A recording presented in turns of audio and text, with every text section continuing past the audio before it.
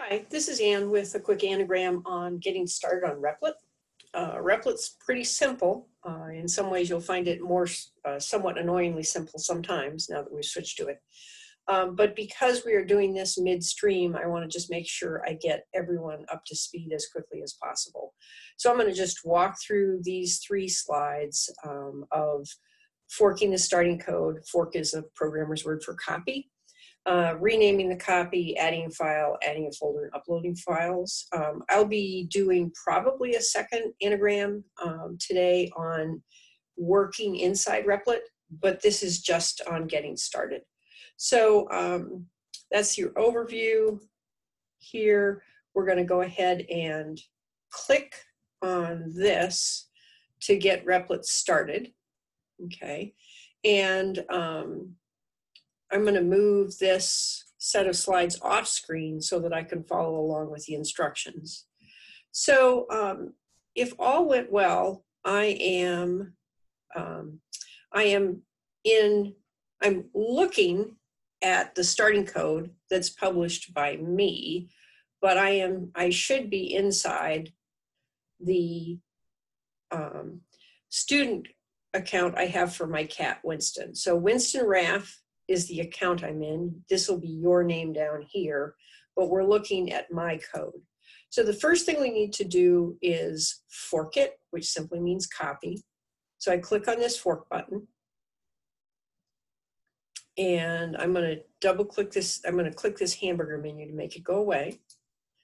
Okay, so now I have a REPL that says starting code um, but it belongs to the account name that that I was logged in. So be sure when you start this process that before you click on that link in the slide, you are logged into Replit under your own name with your own account so that you are not in an anonymous account. You can certainly work with code in an anonymous account, but what you need to do is make sure that this copy belongs to your student account. So um, we want the instructions say to edit this and to change the name of the replit to reflect your name. That's going to help me when I grade. Um, so this is the metadata for this um, replit. So let me spell Winston's name right. Okay.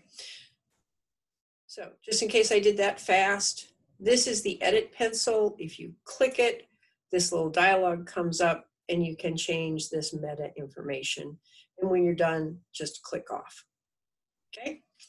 Now, to add a file, for example, there is no review.md file in this set of um, code. So the first thing you need to do is add one and um, click this button, which when you hover over it says add file, but you have to know to hover over it to see that. Uh, and simply type the name of your file. Okay. Um, and you have an empty file here, which is fine. Uh, if by any chance you were in this folder, like you had been looking around before you did this step, and review.md got created inside the wrong folder, note that you can simply drag and drop out to the folder location where you want to be. So I should be able to just drag this out of the Flexbox layout folder and have it show up at the um, root of this particular project. So to open up a folder, you click on the little arrow next to it. If we want to see the images that go with the layout project, they're all right there. Okay. And the other thing I want you to do is create a new folder. So again, make sure you're at the root. For example, have your index.html file open when you go to add a folder and you want to add that folder by clicking that button. And the folder's name is Flexbox Mockup. Okay. Now you have this folder, but unlike the layout, which had files in it to start with, there are no files there. And um, it's empty. So in your tasks, zero, I think was the number, you will have downloaded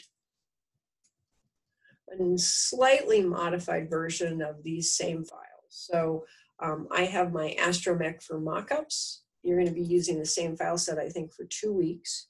And I'm, um, I'm on Windows. I'm going to highlight all of those. And this is a nice interface where you can simply drag this onto the folder.